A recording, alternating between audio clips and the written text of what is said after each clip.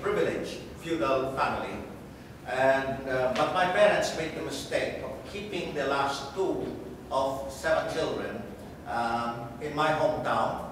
We were not uh, packed off to the convent uh, to be taken care of by the priest, as it is family custom. That was the case um, um, with my elder brothers. Sent to the priest, and uh, my sisters were sent to the nuns from the age of seven. So we went to the public school uh, near our home, and I had four classmates, children of our tenants, and children of the town uh, middle class. And while in school, uh, in elementary grades, I got stories uh, from my classmates. I, I was being told that uh, their grandparents and uh, great-grandparents had their lands uh, grabbed by my great-grandfather. At first I resented those stories, but then I liked the, I liked the critical spirit of the stories of my classmates, and then I began to enjoy bringing home the stories. And my great-grandfather was revered like, uh, well, uh, he had a place next only to God, no? in, the, in the adoration of the family. So, uh, I, I, I'm, uh, I point this out uh, to start telling you that I found my way to Marxism through a series of contradictions. No?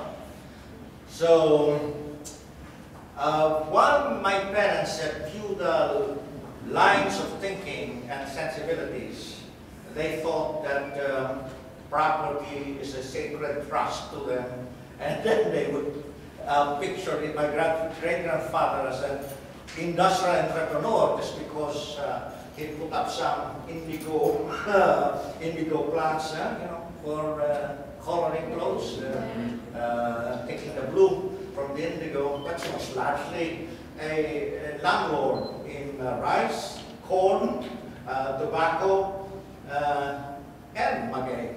So, but uh, my parents were at the same time proud of something. We have a strong anti-colonial tradition. My great-grandfather was brought to the Marianas uh, together with his uh, male children uh, by the Americans. So in the family, uh, there is a reverence for Spanish culture, but at the same time there is disdain for uh, American neo-colonial power. And um, this uh, uh apparent resentment uh, came from uh, this background of our um, of our forebears being persecuted by the U.S. You know, our area was a favorite ambush area for the Filipino revolutionaries. And um, uh, so my great-grandfather and his children were accused of supporting uh, the guerrillas, the Filipino revolutionaries. That's how they got into trouble. So murder charges were uh, faked against them by the American authorities. And um, they were kept in the Marianas up to the capitulation um, of uh, some revolutionary leaders in um, uh, 1902, uh, from 1899 to 1902. Now my parents uh, made a second mistake. Um, when um, they sent me finally to the Jesuits in Manila. I was, uh, you know, my, I had a teacher in history uh, and uh, civics in the elementary grades who was patriotic, like my parents. They were patriotic, although they were feudal. Um, and uh, national heroes like Andres Bonifacio were revered, no? My family even would take the side of our region mate, uh, uh, Antonio Luna, the general assassinated by the president of the First Republic. No? Um, so we were acutely uh, for the Philippine revolution in, in a sense. And uh, when I was at the Ateneo of Manila, an American priest said, oh, Andres Bonifacio was just a thug in Tondo. Tondo is a proletarian district in Manila. And uh, the leader who was uh, then um, the prominent in uh, anti-imperialist criticisms of the U.S. was Senator Claro Mayo Recto, who came from from uh, Ateneo. He was a he was called a maxima cum laude, no? Uh, a man in a half century. That's a maxima cum laude. And uh, he was revealed by my family, by my father, uh, because he considered himself belonging to the same Hispanista, Hispanista tribe. No? You know, my father belonged to that uh, transition from Spanish colonial culture to the new uh, American culture. And uh, I was shocked uh, when um, the same priest mentor said that Claro uh, Mayo Recto was a crazy communist. Oh, that became a challenge why such a man, so brilliant, uh, would be called a crazy communist. There must be something in being communist. so I, I went uh, to the library looking for a, for a book on, uh, on, on communism. I couldn't find any. The one I uh, came uh, uh, closest to Marx's book was a doctoral dissertation of a Fordham um, University student, a certain McFadden, Charles McFadden. So he was um, he was comparing, he was he was um, uh, contraposing uh, Marxism with Christian philosophy, and he made the mistake of quoting extensively from Marx and Engels, and I was more, more impressed by, by uh, the passages from uh, uh, from, from uh, Marx and Engels.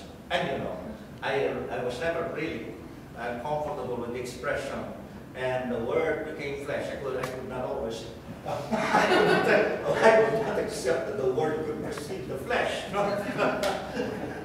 so, um, then uh, uh, you might say that uh, there was a concrete basis a sense of oppression and exploitation going on in the Philippines, uh, national oppression and social oppression. I, I missed the point about uh, our tenants uh, going to another to uh, two other regions to uh, uh, har to harvest the crop because they couldn't make enough in my in my region, and I would. it struck me that my that our tenants would talk differently when they were in front of my parents and among themselves uh, they uh, talked well about the Hukbalahap, uh, the, um, the peasant movement that was uh, uh, developed before and after World War II and uh, it was led by the Communist Party of the Philippines. So uh, I heard them talk about land reform and how good the communists were and so on. So, and then when I was in Manila, I used to have my hair cut with a barber who comes from Central Luzon, so-called Akben of the uh, peasant uh, rebel movement. And um, he would uh, talk well about the Huks and he would talk about the problems of the workers in the slum areas and I would witness the uh, strikes. So I became uh, interested in the lot of the workers and peasants. Uh, but you see, um, I was still preoccupied with my studies and, you know, and with um, uh, literary efforts that uh, uh, I, I, I, could not get on with. so and uh, in, in the university, uh, when I went back from the Catholic uh, Jesuit school, I went to the public school again at the university level. That's when I would say um, I developed fully into what I, one would call a progressive liberal. I have no claim to being a Marxist before then. I had to go through the stage of being a progressive liberal up to 1958.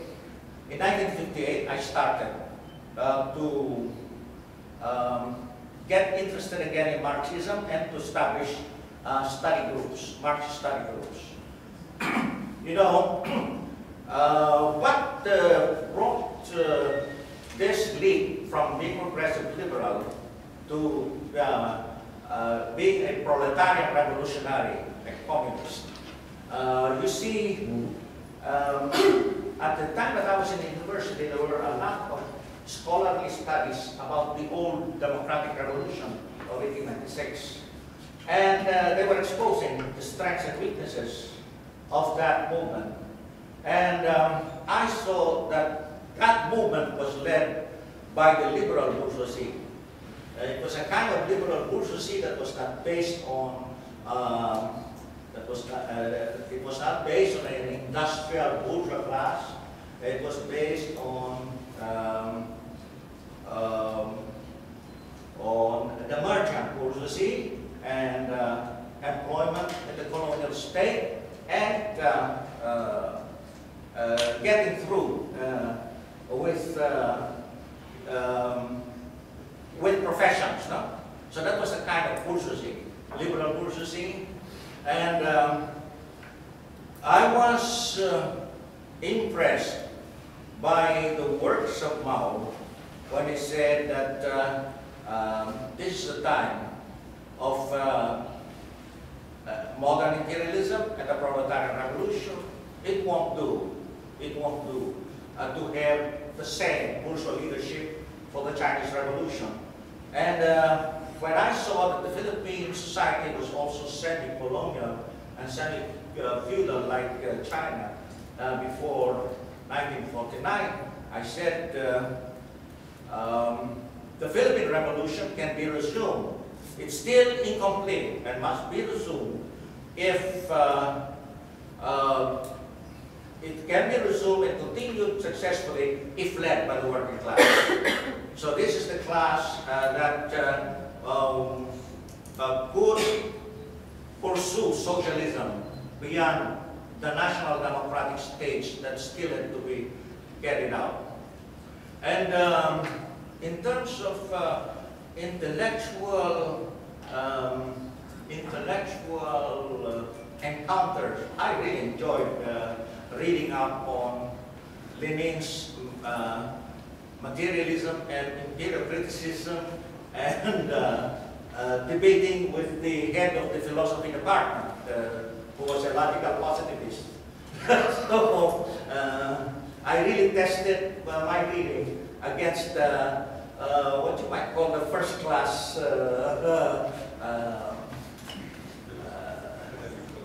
academic, academic philosophy. Uh, uh, but uh, it was clear to me that uh, the revolution is not just a matter of book reading and uh, comprehending problems. Uh, you have to do a certain thing. And what impressed me most about Marxism is its basic proposition that um, philosophers have interpreted uh, the world. But the point is to change it. And uh, you know, when you change the world, you have to deal with the concrete reality. It's not enough to have a critical view of uh, an, an, analysis of society. Uh, you have to, uh, uh, to consider what can be done. So, we have study groups which have two levels of study. One was this uh, bourgeois democratic uh, kind of education of. Uh, uh, and uh, we did so openly and legally. But uh, the, what we call the second level, the Marxist level, we, um, we kept it very discreet because at that time there was the anti-subversion law. Anyone who uh, organizes even just a group. If he's a leader of that group, is uh, liable uh, for the death penalty. And it takes only two persons to pin down someone, two witnesses to pin down someone as a communist. At least you, uh, at least you can be penalized by a uh, long-term uh, imprisonment. But if you were considered an officer, then uh, you could be um, you could be uh, put to death. But actually, uh, the law, they, they never, the bourgeoisie never did. Uh, and precisely because of the anti-subversion law, we, we became more challenged to fight. And only in terms of academic freedom, uh, that was already um, um, a good thing to do, or heroic thing to do, to fight uh, uh, the powers that be on this issue of academic freedom and the anti-subversion law. So, um, you know, uh, the most uh, real thing we did as a student movement was to have was to hold a demonstration of 5,000 students. And that was the big first. After a long period of uh, suppression of the uh, people's movement in the Philippines, you see, the old armed movement, the revolutionary movement was crushed way back in 1952. So, in 1961, uh, when we had this demonstration against a committee uh, formed uh, and created after these U.S. Uh, uh, un-American activities. There was a committee of Congress in the Philippines called the Committee on Anti-Filipino Activities. We organized 5,000 students and uh, uh, we literally scuttled the anti-communist hearings. And so uh, uh, that was my first uh, experience of empowerment among the students and fighting against against the system. And um, eventually we would determine, uh, we became decided to link up with the trade union movement. Uh, we thought uh, that the best we could do for a time would be to act as progressive students, but uh, if we would really want to change Philippine reality, then we would have to link up with the trade union movement, and that's what we did. I think uh, um, I'm just uh, scratching a little my biography. Uh, you can pursue, you can ask uh, uh, further questions. Hmm.